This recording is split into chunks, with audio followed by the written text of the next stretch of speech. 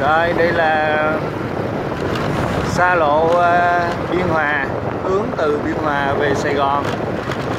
Đây là cái đoạn uh, vừa qua dốc Thiên Thu á. Vừa qua cái đường uh, rẽ vô nghĩa trang quân đội ngày xưa quý vị. Và bây giờ là hướng về ngã tư Thủ Đức nè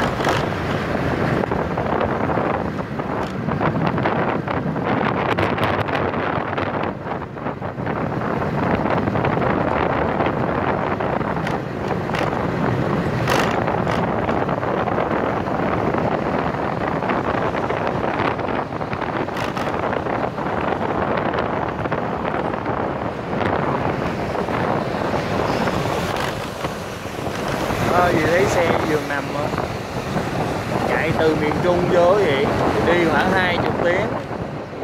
Nếu mà ở Đà Nẵng á, còn ở Quế là 24 tiếng. Nha Trang là khoảng 10 tiếng. Đi ờ, đêm đêm, hoặc là đi từ hồi sáng hồi trưa hôm qua thì người ta canh bây giờ 5 6 giờ sáng mới tới Sài Gòn để ờ, có thể kịp đi làm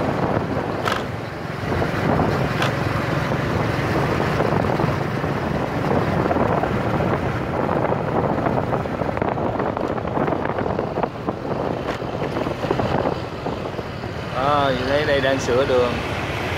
Cấm Honda phải đi ờ, về hướng này nữa gì đó.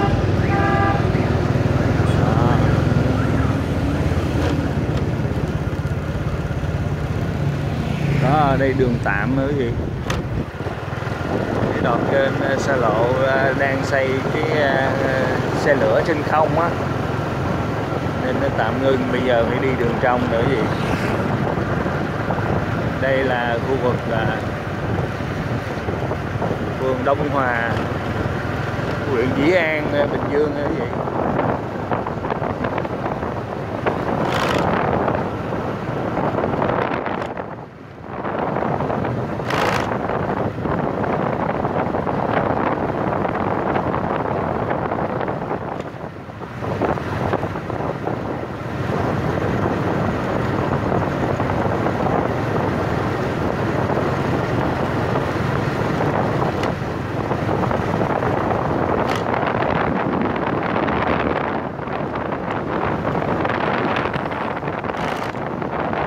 giờ sáng mà đường vắng que không?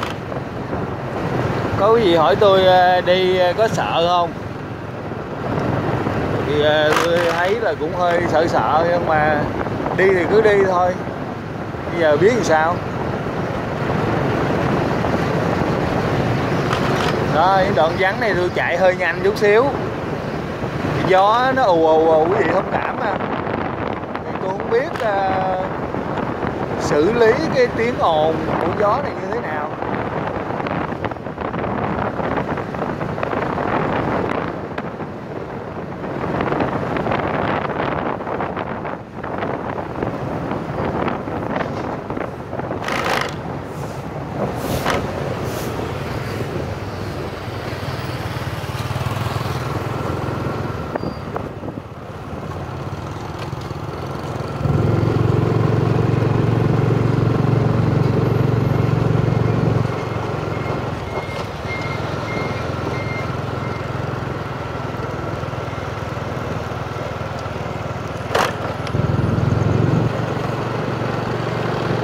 Đó ra đây là dòng lại uh, xa lộ biên hòa này quý vị. Và quý vị thấy bên tay trái là mấy cần cẩu làm cái uh, đường ờ, uh, ray xe lửa trên không nè. Đây xe vừa nằm ở uh, miền trung về quý vị. Đi suốt đêm á.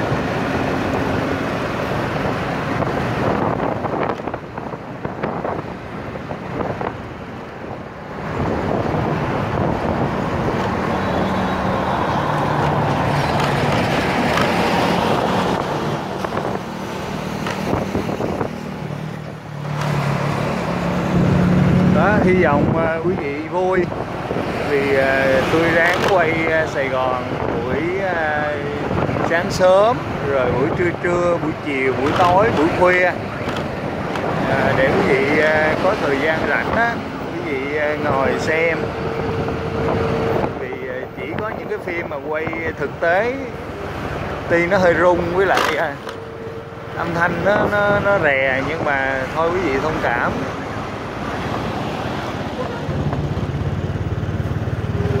là thấy được Sài Gòn rồi những vùng xung quanh đó từ sáng đến tối nó như thế nào nha quý vị thông cảm. Nếu mà chất lượng hình ảnh ờ, coi chóng mặt đó mình sẽ cố gắng là cầm cái ờ, máy quay nó, nó, nó, nó ổn định lại. Ờ, ừ, à, thấy tôi chạy theo cái bảng báo nhỏ nhỏ này nè.